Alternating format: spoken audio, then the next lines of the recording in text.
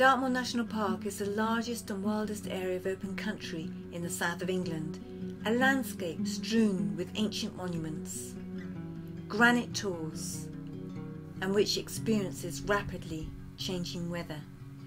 But it is probably best known for its ponies. Ponies have roamed Dartmoor for thousands of years. The first mention of them is in the Domesday Book. Early tin workers used them as pack ponies to bring tin off the moor, and after that era, while some ponies were left to roam free on the moor, others were used for farm work, mainly shepherding and for transport. The upland farmers have rights that go back centuries, allowing them to graze stock freely on the open common, which are usually branded or earmarked. Most foals are born between April and July, Mares carry their foals for just over 11 months, and it is during the last three months before birth the body weight of the foal fetus increases by two thirds.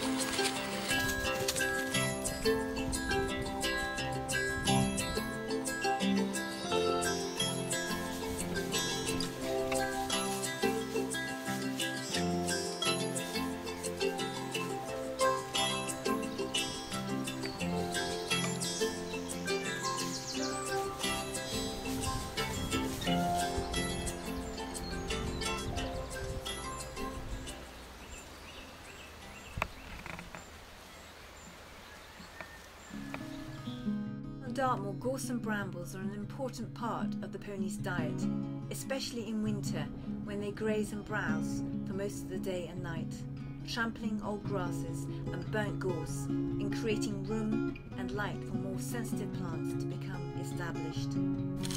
The pony, sheep and cattle play an important part in keeping the moor as we see it today. Without them, it would be quickly become an impenetrable wilderness. I grew up here on Dartmoor, my mother's Shilstone Rocks Dartmoor Pony Stud Farm, just down the hill from here. These are herb Dartmoor mares that grows out, graze out on the moor during the winter. In the spring they'll come back onto the farm to have their foals and some of them will go on to be shown at the county shows. I can't remember when I first started to ride, but I remember well when my parents brought a bright bay pony wrapped in brown paper into the kitchen on my birthday. His name was Little Goose. I'd walk back from primary school, jump on bareback and charge around the moor playing cowboys and Indians. Ah, falling off a lot. Decades later, my dream of being a cowboy in the wild west of America became true as I rode quarter horses from Mexico to Canada. I've always loved to be out here photographing the ponies They've been friends and a great comfort. As in school, I struggled a lot with dyslexia, and then my parents split up. Now, my dream is to set up ranches in New Zealand and Colorado for with these ponies for children and adults to help them heal physically and emotionally and at the same time help promote these ponies? Oh, these Dartmoor ponies are, with their super temperaments, the best small children's ponies in the world. Putting action to my dream, I exported two of my mother's Dartmoor three year old fillies to New Zealand earlier this year Shilstone Rocks Sugar Snap and Shilstone Rocks Mountain Bay. As flying these fillies was an extremely expensive undertaking, we put them in foal in the middle of the British winter time, so they would have foals in the New Zealand spring. In fact, flying four for the price of two, although this did add more complications to the already complex import regulations, and expense for the more expensive vet checks.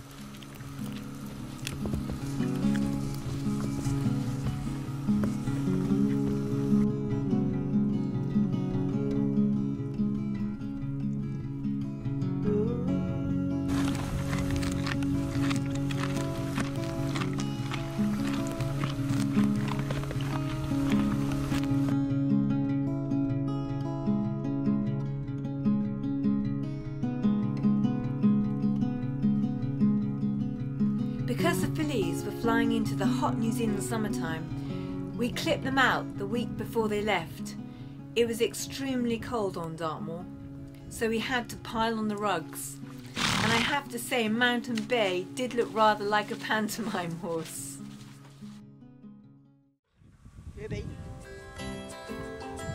They left the snow behind them on Dartmoor, and after quarantine in both England and New Zealand, they eventually arrived in Hawke's Bay in a drought.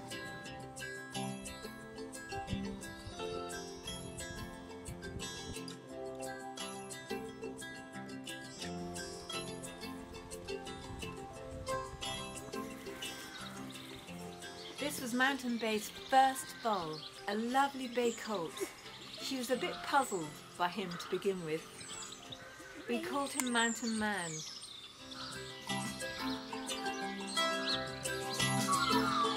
Oh,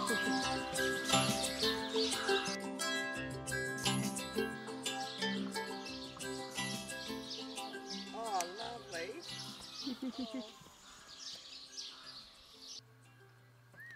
A few weeks later, Sugar Snap had a bay filly we were calling Meadow Sweet. Both foals looked like their sire, Shilstone Rock's North Countryman.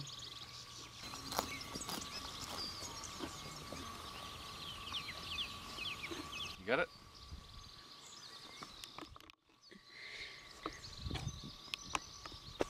Come on, I want my hat back.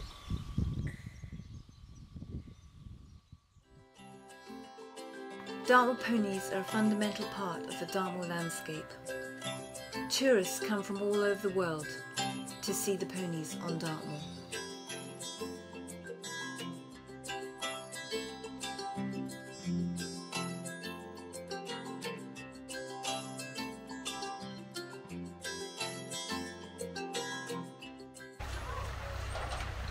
Once a year the ponies are shown at the famous Widecombe Fair.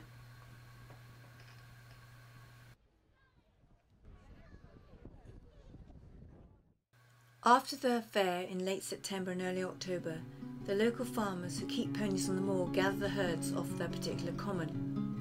There are three types of ponies which run on the moor the registered pedigree, which have qualified for Horse of the Year show, the traditional moorland ponies, and the coloured crossbreds. In the 1950s, there were around 30,000 ponies on Dartmoor. Now there are less than 2,000 and the pedigree pony is officially classed as vulnerable by the Rare Breeds Survival Trust. In the 80s, the Duchy of Cornwall and Dartmoor Pony Society introduced the Dartmoor Pony Moorland Scheme, which invited pony keepers on Dartmoor to put suitable mares into a Duchy moorland enclosure with a pedigree stallion.